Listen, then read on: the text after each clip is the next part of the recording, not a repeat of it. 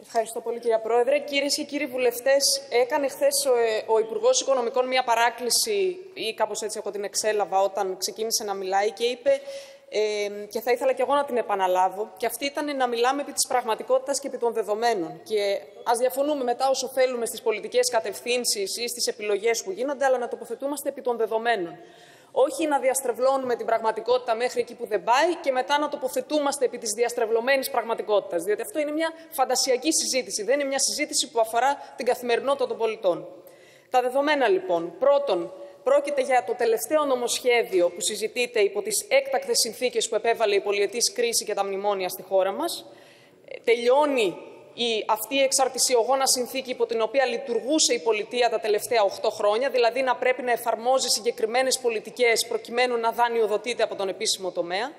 Δεύτερον, τον ερχόμενο Αύγουστο, σε δύο μήνες από τώρα, δηλαδή βγαίνουμε οριστικά από την Επιτροπή και βγαίνουμε καθαρά, χωρίς δηλαδή πιστοληπτική γραμμή στήριξης, χωρίς νέες αιρέσεις, χωρίς άλλες προϋποθέσεις για τη λήψη δανεισμού, δεν υπάρχουν άλλα προαπαιτούμενα, δεν υπάρχουν άλλες αξιολογήσεις ή διαπραγματεύσεις.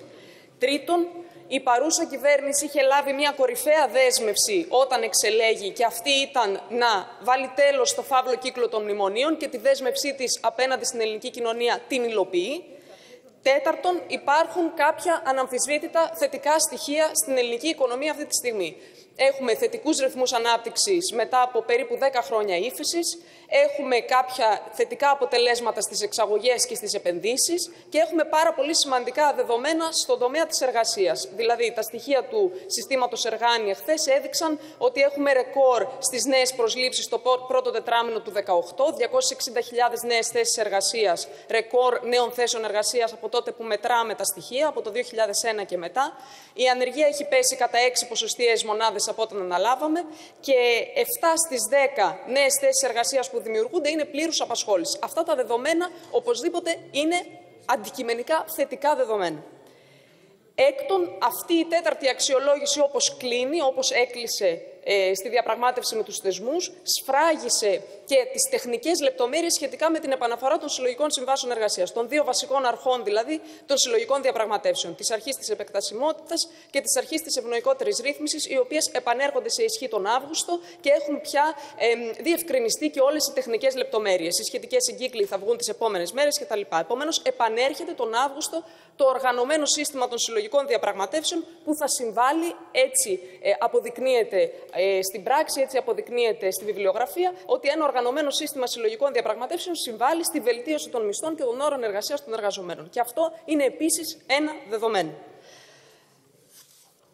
Αυτά είναι τα δεδομένα λοιπόν και πάνω σε αυτά νομίζω ότι πρέπει να τοποθετηθούμε για το αν τίθενται σωστά ή λάθος οι βάσεις για την ανάπτυξη, αν σωστά ή λάθος βάζουμε τις προτεραιότητες που βάζουμε στο ολιστικό αναπτυξιακό μας σχέδιο, αν κάνουμε σωστές κινήσεις στην κοινωνική πολιτική ή όχι, αν αρκούν αυτά που κάνουμε ή θα έπρεπε να κάνουμε παραπάνω πράγματα, αν αρκεί ότι ο προπολογισμό της πρόνοιας υπερδιπλασιάστηκε τα τελευταία τρία χρόνια ή δεν φτάνει και θα έπρεπε να γίνουν και άλλα πράγματα για την παιδική φτώχεια, για παράδειγμα, αν είναι καλό που επανέρχονται οι συλλογικές συμβάσεις ή όχι, γιατί κάποιοι από αυτή την πλευρά του Κοινοβουλίου θεωρούν ότι δεν είναι καλό να επανέλθει το οργανωμένο σύστημα των συλλογικών διαπραγματεύσεων στη χώρα. Αυτά είναι πολιτικές τοποθετήσεις. Αλλά τα δεδομένα είναι δεδομένα και να πω δύο κουβέντες σε σχέση με τις ρυθμίσεις του Υπουργείου Εργασίας που περιλαμβάνονται σε αυτό το νομοσχέδιο και σε σχέση με τη διατησία.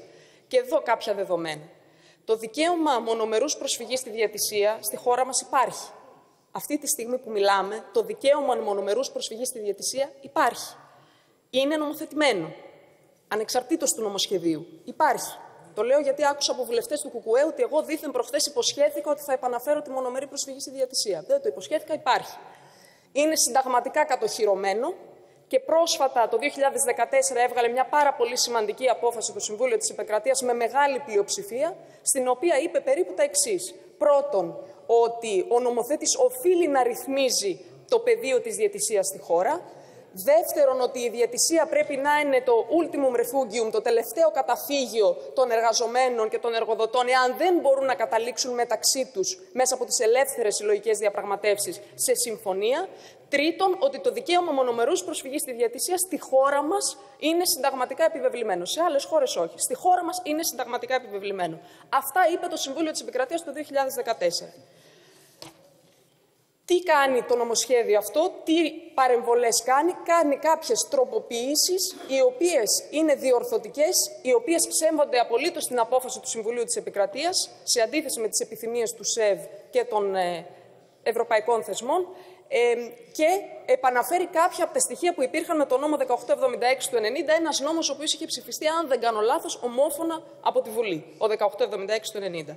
Τι προβλέπει δηλαδή, πρώτον προβλέπει ότι ο μεσολαβητής θα έχει δυνατότητα να υποβάλει πρόταση και όχι υποχρέωση να υποβάλει πρόταση όταν βλέπει ότι τα μέρη έχουν κι άλλο περιθώριο μεταξύ τους να συζητήσουν και να βρουν ελεύθερα μια συλλογική συμφωνία.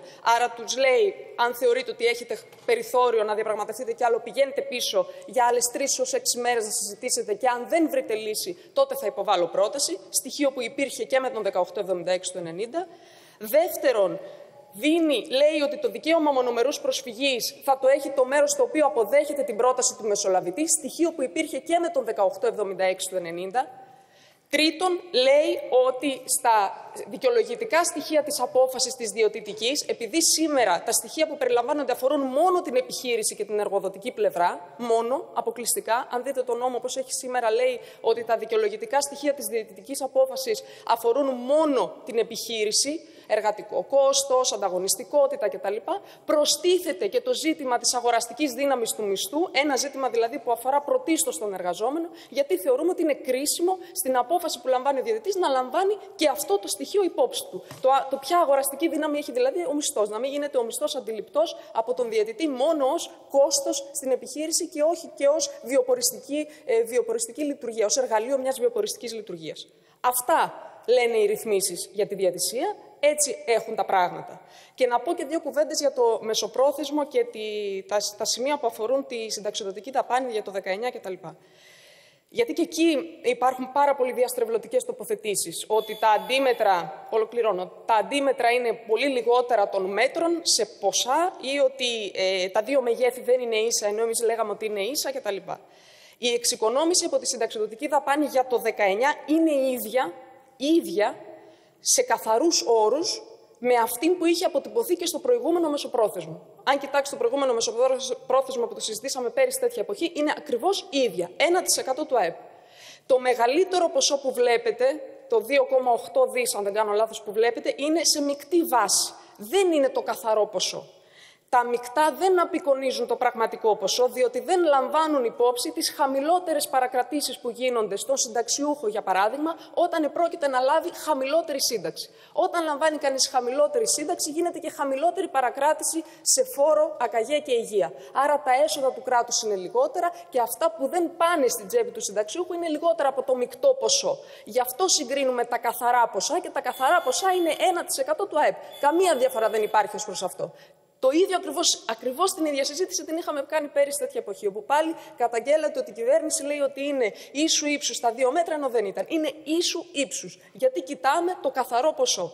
Το δεύτερο στοιχείο αφορά τη δαπάνη για τα αντίμετρα, που και πάλι είναι η ίδια, είναι 1% του ΑΕΠ, 1,9 δις, Απλώς στο προηγούμενο μεσοπρόθεσμο είχαμε προσθέσει κάποιες παρεμβάσεις εξισορροπητικές περίπου 700 εκατομμυρίων, τις οποίες δεν τις είχαμε εξειδικεύσει και αυτή τη στιγμή, σε αυτό το μεσοπρόθεσμο, είναι αυτός ο δημοσιονομικός χώρος που έκανε λόγο χθες ο Υπουργός των Οικονομικών, περίπου 700 εκατομμυρίων, που έχει εξειδικευτεί για φοροελαφρύνσεις. Μεταξύ αυτών θα δείτε στο νομοσχέδιο και μια πολύ σημαντική κατά τη γνώμη μου ε, παρέμβαση η οποία λέει ότι ε, για κάθε νέα πρόσληψη πλήρους απασχόλησης θα υπάρχει έκπτωση των εργοδοτικών εισφορών προς αυξημένη μάλιστα κατά 50% προκειμένου να δοθούν κίνητρα να κάνουν νέες προσλήψεις πλήρους απασχόλησης οι επιχειρήσεις αλλά και να μετατρέψουν συμβάσεις εργασίας μερικής εκπεριτροπής ε, απασχόλησης να τις μετατρέψουν σε πλήρους απασχόλησης. Τους δίνεται λοιπόν ένα πολύ σημαντικό κίνητρο και με αυτόν τον τρόπο νομίζω ότι δίνουμε και ένα σαφές στίγμα για την κατεύθυνση που θα πρέπει να έχει ο δημοσιονομικός χώρος που δημιουργείται από το 19 και γίνεται επεκτατικός στη συνέχεια. Σαφές στίγμα για την κατεύθυνση των πολιτικών μας. Μείωση της ανεργίας, ενίσχυση της εργασίας, δημιουργία θέσεων πλήρους εργασίας και καταπολέμηση των ψευδών μορφών απασχόλησης. Τα υπόλοιπα στην Ολομέλεια. Σας ευχαριστώ πολύ. Ευχαριστούμε. Ε, το λόγο έχει τώρα...